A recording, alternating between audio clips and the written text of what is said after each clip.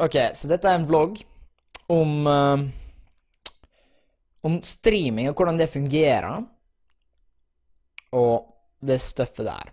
Altså, jeg får masse meldinger hver dag på Fjesbochi om uh, folk som spør sånn Å, ehm, jeg syns det er dritkult at du gjør det du gjør. Jeg synes det er dritkult at du, du prøver og du går for streaming. Og jeg har veldig lyst til å gjøre det samme. Kan du gi meg noen tips? Kan du komme innom streamen min, kanskje? Kan du se på ditt og datt? Og så bare sånn kanskje Bla, bla, bla, bla, bla, bla, bla, bla. Først og fremst det er det én ting folk må forstå med hvordan streaming fungerer, spesielt i Norge.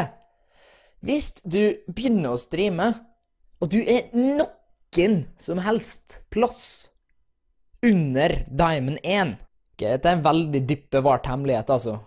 Men uh, kom, litt, kom litt nærmere. Eh, Litt, litt, litt nærmere. Litt, litt, litt nærmere. Litt nær... OK, ok, her er hemmeligheten. Hysj. Du kommer ikke til å tjene en dritt på å streame. Ok, se nå. Det som er med streaming i Norge Du er en sinnssykt lav viewerbase. Det høyeste du kommer til å klare med en norsk stream, er 400 viewers. Du, du, du har ikke sjans til å gå over det, for det er ikke flere personer enn den som ser på streamen.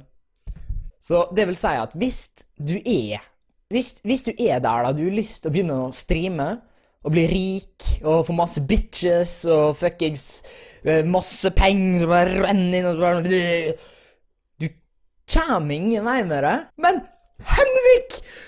Hvordan skal jeg bli streaming og spille dataspill hele dagen, så mamma blir stolt av meg, og jeg kan si til alle vennene mine at jeg tjener penger på å spille dataspill! Fuck det der! Det skjer ikke! Du kommer ikke til å bli rik på å streame på norsk. Men Henvik, hvorfor du Hvorfor du streamer hele dagen og ikke tjener penger på det? Jeg tror du lyver. Du tjener sikkert masse penger og sikkert masse bitches og sånn piss. Jeg kan si det så enkelt som det er. Hvis du er i streamingbransjen, og du gjør alt, og du gir 100% til streamen for penger sin skyld, så kan du bare snu i døra og hute deg tilbake dit du kom fra. Altså, det er ikke Streaming er ikke noe du gjør for å bli rik. Streaming er en måte du kan Du får mulighet til å underholde folk. Du får vie tida di til å gjøre andre sitt liv bedre. Du kan, du kan gi gratis underholdning til folk. Og hvis du ikke streamer, eller har tenkt å streame, for å underholde folk, så er det ingen grunn til å streame. Du kommer til å sløse vekk tida di. Og så alt det koster. Hå! Holy shit! Jeg har brukt så mye penger på streamen. Jeg har kjøpt grafikk... eh, Jeg har kjøpt to grafikkort til en samla verdi av 7000-8000, bare for å kunne streame i 60 FPS, liksom. Jeg har kjøpt mikrofoner til kanskje 2000 kroner, stativ, green screen som dere ser bak meg her. Steik, altså! Se om vi får på. Der da! Det er bare papir! Det er ikke skikkelig green screen engang! Det er bare papir! Og jeg er fattig! Jeg er fattiglus! Billigste du kan få til å sette opp en stream på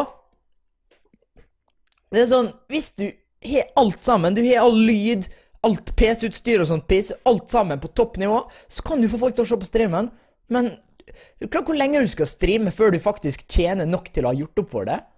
Altså, hvis du er Diamond 1, Challenger, og sånne ting som det er, og du er en artig person og, og slikt, så klarer du kanskje 300 viewers i Norge. Det er godt mulig, hvis du gir alt for det. Og da kan du få uh, sponsoravtaler og litt reklamepenger og sånn, men det er ikke mye penger det går i, altså. Reklame og shit på Twitch, du tjener lite på det hvis du bare er 300 viewers. Det er ikke noe å leve av. Det eneste, eneste inntekter du har, er donasjoner. Og ja, det er greit, du kan få en del donasjoner på det, men hvis du skal Hvis, hvis du skal si timelønn, da Hvis du skal regne ut ei tim- timelønn på hva jeg har i timen, er det sikkert 20 kroner i timen eller noe sånt. Det er ikke mye å gå på. Du gjør det ikke for pengene, og jeg gjør det ikke for pengene. Jeg gjør det fordi jeg kan underholde folk. Og det er kun det du burde ha i hodet ditt når du går inn for å streame. Underholdningsverdi, ikke penger.